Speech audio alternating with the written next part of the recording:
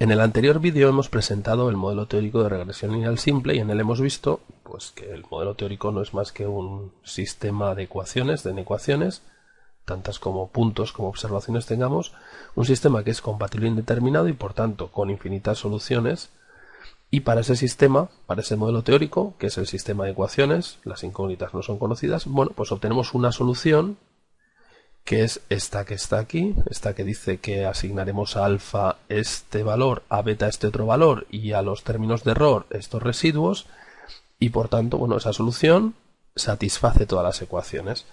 ¿Qué es lo que ocurre cuando sustituimos estos valores en cada una de las ecuaciones? Bueno, pues que el conjunto de n ecuaciones se convierte en un conjunto de n igualdades.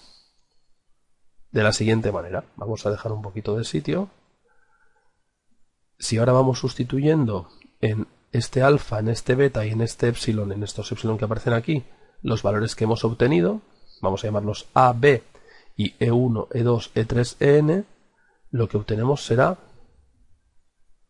un conjunto de n igualdades. Y las igualdades serían las siguientes. Tendríamos I1 igual a A más B por x1 más e1. Esto ya no son incógnitas, estos son valores que hemos calculado, por ejemplo, esta b de aquí es la covarianza de x y partido de la varianza de x, esta la hemos calculado con la fórmula que estaba un poquito más arriba, y el primer residuo como la diferencia entre y sub y lo que me daba esta parte de aquí. Esto es una igualdad, ya no es una ecuación. Así tendremos la iésima igualdad que será i sub igual a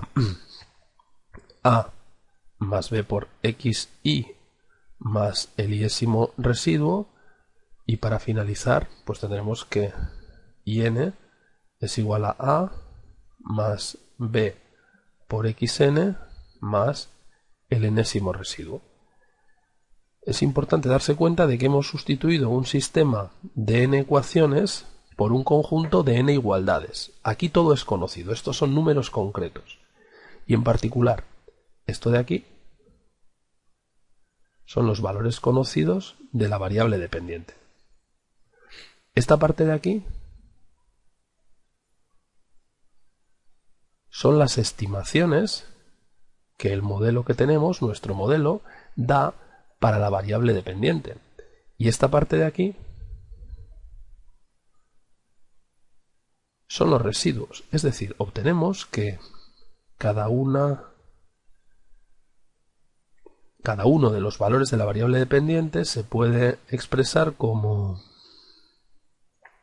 por una parte, la estimación que hace el modelo a la que vamos a llamar y subí con un acento circunflejo para indicar que eso es una estimación más el residuo resultante.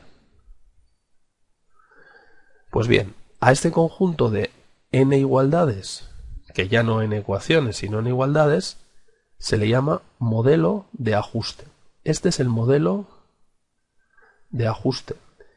Y es lo que resulta, es el sistema, o mejor dicho, el conjunto de igualdades que resultan de sustituir en el modelo teórico la solución obtenida, que en concreto ha sido la solución siguiendo el criterio de los mínimos cuadrados.